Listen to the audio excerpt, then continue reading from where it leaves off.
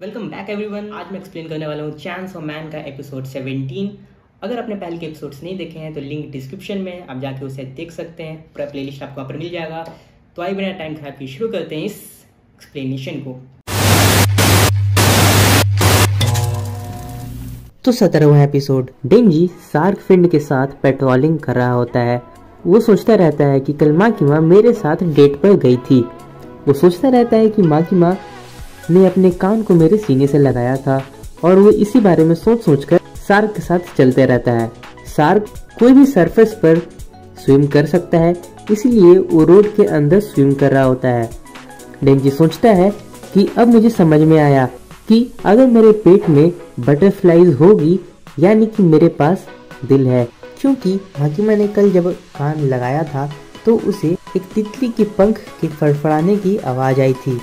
और इसी से उसने कहा था कि मेरे पास दिल है। डेंजी आगे चलता है और वो देखता है कि कुछ लोग रोड के किनारे भीड़ लगाए हुए हैं। वो और ध्यान से देखता है तो उसे समझ में आता है कि वो लोग जो बच्चे डेविल के हमले से घायल हुए हैं, उनके लिए फंड इकट्ठा कर रहे हैं। डेंजी सोचता है कि क्यों ना मैं भी डोनेट करूँ, क्योंकि मेरे पास भी एक दिल है।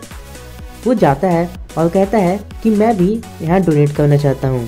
तो वहाँ की लड़की कहती है कि आप उस बॉक्स में जाकर डोनेट कर सकते हैं। डिंजी अपना पर्स निकालता है और एक सिक्का उसमें डाल देता है। डिंजी कहता है कि मैं भी यहाँ डोनेट कर सकता हूँ क्योंकि मेरे पास भी एक दिल है। वो लड़की कहती है कि थैंक यू और हम फूल दे रहे हैं उन लोगों को जो हमारी चैरिटी में डोनेट कर रहे हैं और वो डिंजी को एक फूल देती है। डिंजी कहता है कि वाओ ये तो बहुत सुंदर फूल है। उसके बाद ये कहता है कि मैं अच्छी चीज़ों की तारीफ़ कर सकता हूँ, क्योंकि मेरे पास भी एक दिल है। माँ की माँ ने ऐसा कहा है। और वो डिंजी फूल को खा जाता है। वो लड़की चौंक जाती है और डिंजी वहाँ से चला जाता है।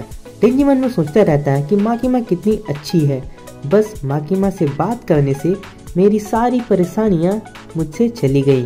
वो गली गली चलते रहता है और सोचता रहता है कि माँ की माँ ने कहा है कि अगर मैं गन डेविल के मांस के टुकड़े को इकट्ठा कर लूँ तो वो मुझे कोई भी विश देगी। मैं चाहूँगा कि मैं उसे फिर से डेट करूँ। मेरे पास जब भी फ्री टाइम होता है, मैं बस माँ की बारे में सोचता हूँ। हाँ मैंने कुछ लड़कियों के साथ दोस्ती की है, किसी को किस भी किया है, लेकिन मेरे दिल में माँ की माँ है। वो फिर खुद से वादा करता है कि मैं सिर्फ़ माँ की माँ से ही बात करूँगा। उसके बाद वहाँ बारिश होने लगती है। डेंजी भागता हुआ किसी छत को खोजता है डेंजी दौड़ कर जा रहा होता है। वहीं पर सार्क फिर कहता है कि, वाओ, कितना सारा पानी है। मुझे बहुत अच्छा लग रहा है। डिंकी कहता है कि, तुम क्या पागल हुए हो? तुम्हें बाहर नहीं आना है। अगर तुम्हें किसी ने देख लिया तो कोई डर जाएगा। और अगर ऐसा हुआ तो हमें पीछे की गलियों से भागना पड़ेगा। तुम यहाँ से दूर रहो और छिप जाओ। उसके बाद सार टेबिल वापस अंदर चला जाता है। टिंजी को एक टेलीफोन बूथ दिखता है। और उसके अंदर वो जाकर छिप जाता है। वो सोचता है कि सारे डेविल्स का इतना अजीब सा नाम क्यों होता है? उसके बाद डिंजी सोचता है कि मुझे एक छाता भी लेकर आना चाहिए था ताकि मैं इस बारिश से बच जाता। अभी पता नहीं कितनी देर बारिश यहाँ पर होगी। उसके बाद वही टेलीफोन बूथ में डिंजी दिखता है कि एक लड़की आती है। वो डिंजी को आकर कहती है कि, हाय, आज ज़्यादा ही बारिश हो रही है। तो डिंजी कहता है कि हाँ। वो लड़की कहती है कि, मैंने मौसम के समाचार में देखा था कि आज बहुत भारी बारिश होगी और वो हंसने लगती है। डेंजी सोचता है कि हंस क्यों रही है और उससे पूछता है कि इसमें इतनी हंसने वाली क्या बात है? तो लड़की कहती है कि सॉरी और वो फिर से हंसने लगती है। डेंजी सोचता है कि ये क्या पागल हो गई है और पूछता है कि तुम्हारी दिक्कत क्या है? तुम इतनी ज़्यादा हंस क्यों रही हो? डेंजी फिर से पूछता है कि तुम इतनी ज़्यादा क्यों हंस रही हो? तो वो कहती है कि सॉरी सॉरी, लेकिन तुम्हारा चेहरा मेरे कुत्ते के जैसे दिखता है, जो कि अब नहीं है। तो डेंजी कहता है कि क्या मैं एक कुत्ते के जैसे दिखता हूँ? और वो गुस्सा हो जाता है। वो लड़की कहती है कि मुझे माफ़ करो, सॉरी। और डेंजी उल्टी करने का नाटक करता है। वो लड़की पूछती है कि क्या तुम ठीक हो? और डेंजी वही फूल निकाल कर उसे सरप्राइज़ करता है। और वो फूल उस लड़की को दे देता है। वो लड़की कहती है वाह, क्या जादू है। तुम बहुत अच्छे हो। वो लड़की कहती है कि, फूल के लिए थैंक्स उसके बाद बारिश रुक जाती है। डिंजी देखता है कि अब मुझे वापस काम पर जाना होगा। वो लड़की कहती है कि मैं यहाँ पास में ही पार्ट टाइम काम करती हूँ, एक कैफ़े है। अगर तुम कभी आना चाहो तो वहाँ आ सकते हो और मैं तुमको इस फूल के लिए थैंक यू भी कहूँगी। वो जाते जाते कहती है कि याद से ज़रूर आना। डेंजी वहाँ पर खड़ा होकर उसे दिखते रहता है। वो लड़की अपनी दुकान के रास्ते से अपनी दुकान पहुँचती है। दुकान के अंदर आती है तो उसका बॉस कहता है कि तुम इतनी लेट क्यों हो? मैं तुम्हारा पेमेंट कट करूँगा। उसके बाद वो लड़की अपने बॉस को कहती है कि तुम बहुत बुरे हो। जब वो आकर देखती है तो डिंजी वही कैफ़े में बैठा रहता है। वो लड़की कहती है कि, अरे, तुम मुझसे जल्दी यहाँ पर पहुँच गए? डिंजी कहता है कि, अब तुमने ये बता दिया है तो शायद मैं जल्दी पहुँच गया हूँ यहाँ पर। डिंजी कहता है कि, मैं यहाँ पर सिर्फ़ तुम्हें थैंक यू कहने आया हूँ। तो लड़की कहती है कि, क्या सच में? उसके बाद वो डिंजी के साथ बैठ जाती है और कहती है हमें एक कॉफ़ी दो अपने बॉस को। तो उसका बॉस कहता है कि तुम यहाँ पर कॉफ़ी सबको देने आई हो, खुद पीने नहीं। तो लड़की कहती है कि चलिए भी, हमारे दुकान में कस्टमर सिर्फ़ सुबह को आते हैं। तो बॉस कहता है कि विश्वास नहीं होता और वो उन्हें कॉफ़ी लाकर देता है। डिंजी कहता है कि थैंक यू। लड़की कहती है कि क्या तुम्हें कॉफ़ी पसंद आया?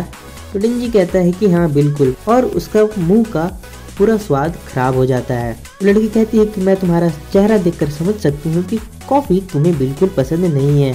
डिंजी कहता है कि कॉफ़ी मिट्टी जैसा है। वो लड़की हंसने लगती है और कहती है कि तुम बहुत मजाकिया हो। वो डिंजी को टच करती है। डिंजी सोचता है कि ये मुझसे बहुत ज़्यादा ही करीब है और ये मुझे देखकर हंस भी रही है। वो लड़की कहती है कि मेरा नाम रीज है और तुम्हारा क्या है? तो डेंजी कहता है कि मेरा नाम डेंजी है। वो लड़की कहती है, डेंजी डेंजी, तुम्हारा नाम तो बहुत फनी है और मैं तुम्हारे जैसे आदमी से आज तक नहीं मिली हूँ। डेंजी मन में सोचता है कि ये मुझे बिल्कुल पसंद करने लगी है। डेंजी मन में सोचता है कि जो लोग मुझे पसंद करते हैं, मैं भी उन्हें पसंद करने लगता हूँ। डेंजी मन में सोचता है कि माँ की माँ मेरी मदद करो, नहीं तो मैं इसके लिए इसके पीछे पड़ जाऊँगा। हाया खावा एक सिगरेट के पैकेट को डस्टबिन में फेंकता है और देखता है कि वो लड़की, यानी कि एंजल बैठकर आइसक्रीम खा रही होती है। हाया खावा कहता है, ये तुमने तीसरा आइसक्रीम खा लिया। तुम और कितने आइसक्रीम यहाँ पर खाओगी? जल्दी करो हमें पेट्रोलिंग पर भी जाना है। तो एंजल लेवल कहती है आइसक्रीम खाने से भी मैं थक जाती हूँ, क्योंकि इसमें भी काफ़ी शक्ति लगती है और मैं काम नहीं करना चाहती। हायकावा कहता है कि तुमको पता है कि हमें गन डेविल का लोकेशन मिल गया है और उसके लिए एक ग्रुप बनाया जा रहा है और अगर मैं और बड़े बड़े डेविल्स को मारूँगा और मैं भी वहाँ ज्वाइन कर पाऊँगा। जल्दी चलो, ताकि हम पेट्रोलिंग करें और अभी के लिए तुम मेरे साथी हो। तो एनी डेविल कहती है कि क्या मुझे नहीं पता। मैं अभी एक और आइसक्रीम खाना चाहूँगी। तो है का वह कहता है कि चुप रहो, जल्दी यहाँ से उठो और हमें काम पर भी जाना है। नहीं तो मैं सबको बता दूँगा कि तुम कोई काम के नहीं हो और वो तुम्हें एक डेविल के तौर पर ख़त्म कर देंगे। तुम्हें क्या चाहिए? तो एंजे डेविल कहती है कि हाँ मुझे काम करने से अच्छा ख़त्म कर दो। फिर हाया का वो सोचता है कि माँ मैंने कहा था कि ये सबसे ज़्यादा ताकतवर मेंबर है। लेकिन ये बहुत आलसी है। अगर तुम्हें गन डेविल को ख़त्म करने वाला ग्रुप को ज्वाइन करना है तो तुम्हें इसके साथ रहना पड़ेगा का वक्त। कहता है कि मुझे नहीं लगता कि मैं इसके साथ काम कर पाऊँगा अच्छे से। माँ की माँ कहती है कि तुम पावर के भी साथ रहे थे। कहता है कि पावर से मैंने लड़ाई कर लिया था। तो माँ की माँ कहती है कि तुम इसे पसंद करो या ना करो, तुम्हें इसका इस्तेमाल करना होगा। माँ की माँ कहती है कि इसने जहाँ जन्म लिया था उस गाँव के सारे लोगों को इसने खत्म कर दिया था और उनके ताकत को हथियार बना दिया था। मकीमा कहती है कि ये जिस चीज़ को भी छुएगी, उस चीज़ को हथियार बना देगी और ये तुम्हारा तलवार के साथ भी ये कर सकती है। और इसके पास जो हथियार है, उसमें काफ़ी अलग पावर है। जैसे कि ये एक भूत को काट सकती है अपनी तलवार से, जो दिखता भी नहीं है। तुम इसके साथ रहने का नाटक करो और ये सच में तुम्हारे साथ काम करेगी। ये पहले की बात थी और अभी हायाकावा एक डेविल को खत्म करता है। वो कहता है कि देखो, मैंने एक डेविल को खत्म किया। इसके ब्लड को मत छूना, नहीं तो तुम इसके ब्लड का वेपन बना दोगी। एंजल डेविल कहती है कि ये कितना अच्छा है, देखो। एंजल डेविल कहती है कि ये बहुत टेस्टी लग रहा है। यहाँ पर एक इंसान है हाय का कहता है कि लगता है ये एक पुराना डेविल हंटर है, जिसे इस डेविल ने खा लिया होगा। वो आदमी ज़िंदा रहता है और कहता है कि मुझे खत्म करो, मैं दर्द में हूँ। हायाकावा कहता है कि तुम इसे छू कर खत्म कर सकती हो बिना दर्द के। तो एंजल डेविल कहती है कि नहीं, मैं एक डेविल हूँ। एंजल बाद में। और वो कहती है कि मैं इसे नहीं मारूँगी।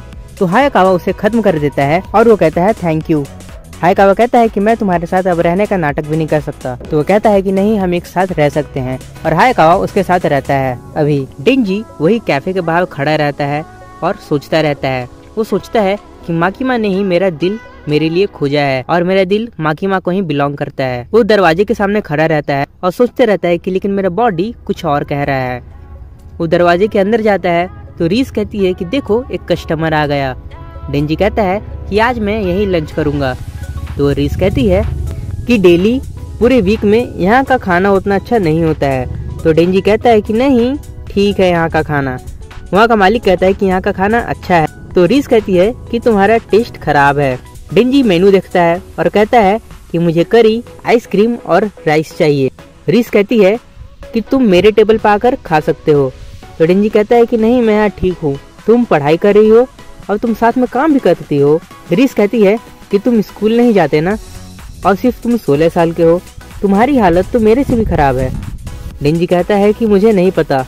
रीस कहती है कि एक लड़का जो स्कूल भी नहीं जाता और डेविल्स को हंट करता है इतनी कम उम्र में। कितना अजीब है। रीस कहती है कि मैं तुम्हारे ही टेबल पर आकर पढ़ती हूँ। थोड़ा जगह बनाओ। वो कॉपी में कुछ लिखती है और डेंजी को कहती है कि क्या तुम्हें पढ़ने आता है?